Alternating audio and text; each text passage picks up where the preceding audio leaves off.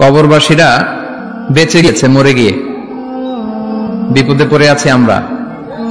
তাই না? যারা মরে গেছে, ওরা বেঁচে গেছে। ওদের চ্যাপ্টার শেষ। আমাদের ওই চ্যাপ্টার এখনও শেষ হয় নাই। ওরা চলে গিয়ে আমাদের চোখে আঙ্গুল দিয়ে বলে বলে গেল যে, তোমরাও আসতেছো। দ্য ডেস্টিনেশন ইজ সেম গন্তব্য একটাই। কেউ আগে, কেউ পরে।